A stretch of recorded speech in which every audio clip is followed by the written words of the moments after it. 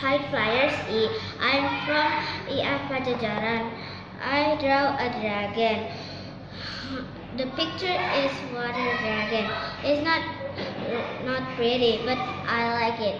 I really like my picture, so this is my picture.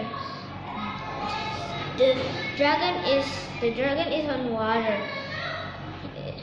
In this, I have a rainbow in the sky. The eyes is small, but he can see clearly. Okay, that's enough. Bye guys, see you later.